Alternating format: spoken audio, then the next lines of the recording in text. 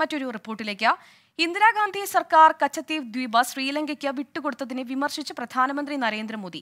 ഇന്ത്യയുടെ ഐക്യത്തെയും അഖണ്ഡതയെയും കോൺഗ്രസ് ദുർബലപ്പെടുത്തിയെന്നാണ് കുറ്റപ്പെടുത്തൽ. കച്ചത്തീവ് ദ്വീപുമായി ബന്ധപ്പെട്ട വിവരാവകാശ രേഖ പുറത്തുവന്നതിന് പിന്നാലെയാണ് പ്രധാനമന്ത്രിയുടെ പ്രതികരണം. ആർ. അച്യുതൻ കൂടുതൽ വിശദാംശങ്ങളുമായി ഡൽഹിയിൽ നിന്ന് ചേരുന്നുണ്ട്. അച്യുതൻ ഈ വിവരാവകാശ രേഖയിൽ എന്തൊക്കെ കാര്യങ്ങളാണ് ഈ ഒരു വിഷയവുമായി ബന്ധപ്പെട്ട് നിലവിൽ പറഞ്ഞിട്ടുള്ളത്?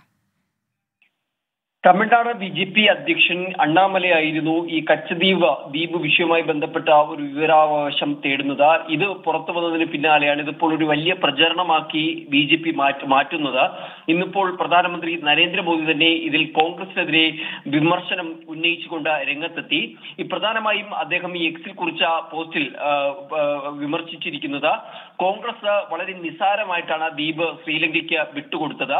ഇത് ഓരോ ഇന്ത്യക്കാരനെയും പ്രകോപിപ്പിക്കുന്ന തരത്തിലായിരുന്നു കോൺഗ്രസിന്റെ തീരുമാനം. മാത്രമല്ല കോൺഗ്രസിന് ഒരു കാലത്തും വിശ്വസിക്കുവാൻ ആകില്ല.